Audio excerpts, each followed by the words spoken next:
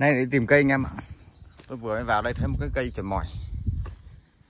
Tôi vừa mới ờ, bẫy nó ra Không lấy dụng cụ lên. Lấy nó Cây này sau này làm dáng văn nhân khá đẹp. Chân dài. Một gốc bên này mà xấu quá. Tôi vừa mới nhổ nó lên. Đây, Nó có những cái rễ rất là hay.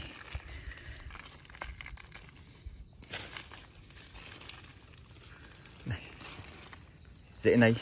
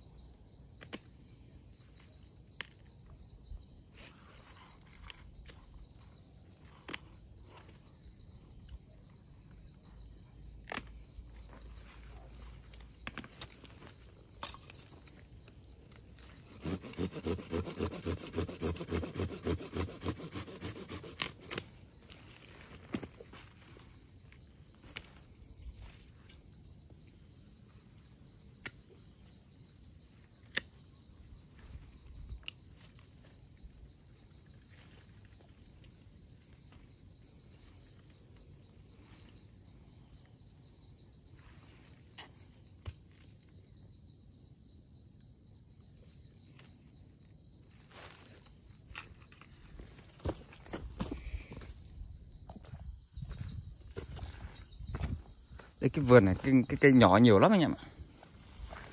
Tìm mấy cái gốc đẹp đẹp đào.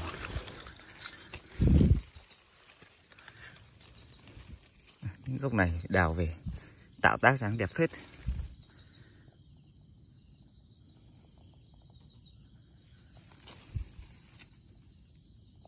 Tôi bây giờ tôi đi tìm một số cây nhỏ nhỏ này đào. Về tôi chỉnh sửa lại tôi quay anh em xem sau nhé đây khá hay này. Dễ của nó loại này làm nhanh thành cây đấy anh em ạ. Những cây mà nó nó rụt dịt thế này thì nó có những cái tay chốt thế này thì nó chỉ làm khoảng năm hơn năm thôi anh em ạ nó đẹp rồi.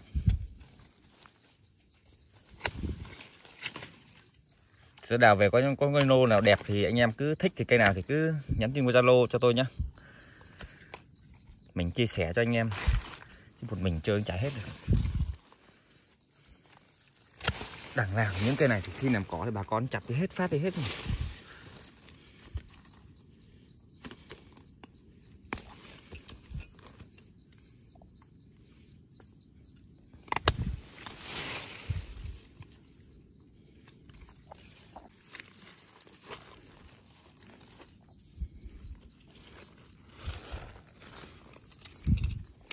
Những cái cây này cắt cái rễ như này nó lên.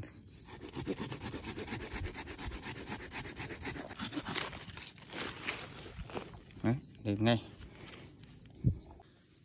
Lên những cái cây thế này. Đây nó có một cái rễ này. Bên này một cái rễ thì mình thu ngắn cái rễ đây lại. Dựng nó lên thế này. Thì nó sẽ có là một cây có bệ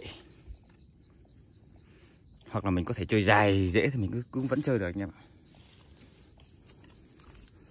rất đẹp cây bonsai này.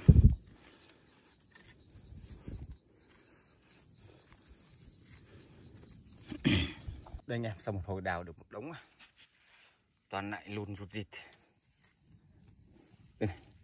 mấy gốc này là bonsai thì rất là tuyệt vời. Mấy cái giặt tôi chỉnh sửa cho nó một xíu đây nha mọi ạ. Gốc như gốc này này có cái rễ đây thì, thu lại đây thôi. Để cho nó thành một cái bệ như này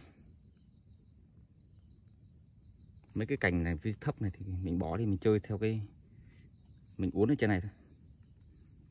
Như gốc này tạo ra rất là đẹp này.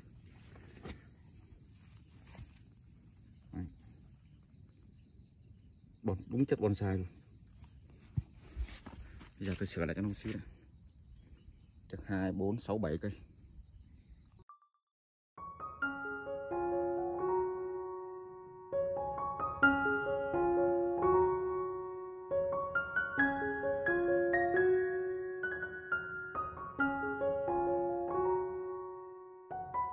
Đây nha cuối cùng tôi sửa xong rồi đây.